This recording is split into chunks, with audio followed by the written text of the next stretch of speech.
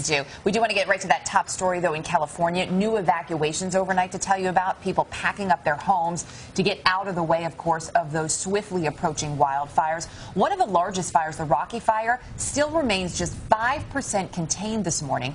NBC's Gadi Schwartz just filed this report for us from California.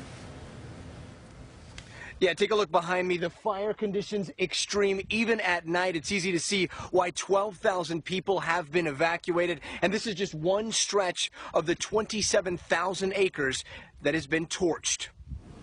Overnight, huge flames and more mandatory evacuations in California's Lake County.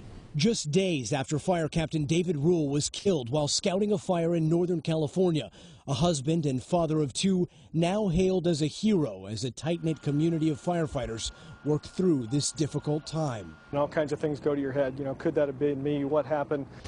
Fires in the west are offering no reprieve. Drought conditions, heavy wind, and lightning making conditions even worse. Because of the drought and the lack of water throughout California, the fuel conditions and the brush that is burning is what we would normally see in late August. In rural Washington state, homeowners returning to find their houses destroyed. I raised my baby, all three of my babies in here, even him. I don't, I can't. It's crazy.